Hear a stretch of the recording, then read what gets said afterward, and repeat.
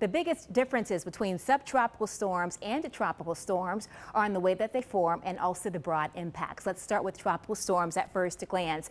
Tropical storms are areas of low pressure. They're fueled by the warm waters that helps to supply the energy. That's that latent heat. Heaviest rain usually falls closest to the center with a tropical storm, and the wind field is usually much smaller. When you take a look at what is now subtropical storm Nicole, here's the center of circulation, but that wind field and that cloud cover and the rainfall are far away from that center of circulation. It looks like a messy tropical storm, but there are differences. Uh, we do know that this is a low pressure system, so that's the similarity, but the warm waters and the temperature changes are what help to supply the energy for a subtropical system. Rain is usually far from the center and that wind field usually expands much larger, so the strongest winds can be 100 miles or more from the center of circulation. Once a subtropical system attains hurricane status, it's a full-blown tropical system.